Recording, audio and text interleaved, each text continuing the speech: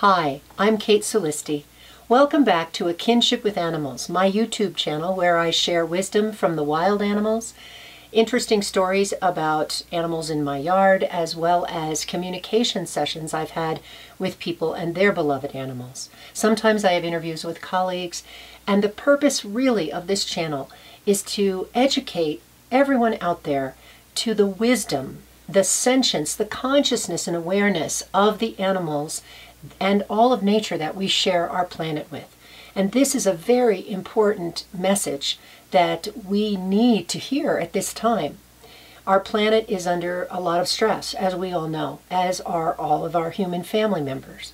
So, being able to tap into the beauty, the messages of joy, and the helpful messages from the wild ones is extremely important right now and comforting as well. So today, the first message I want to share with you is a message about springtime from the Arctic fox. And I want you to, to listen and feel the energy of this because spring is a joyful time on the planet whenever it happens. It's coming. We feel it. There is great activity underground.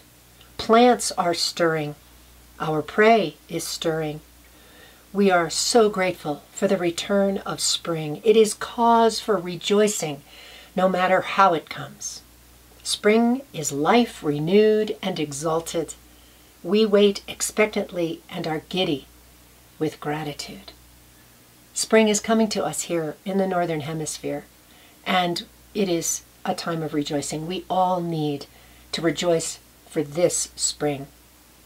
If this message has brought you some joy, please look at my membership community, the Harmony Pack.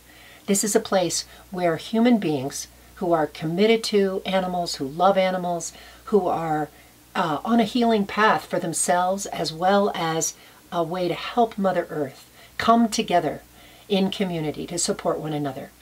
Please visit www.myharmonypack.com.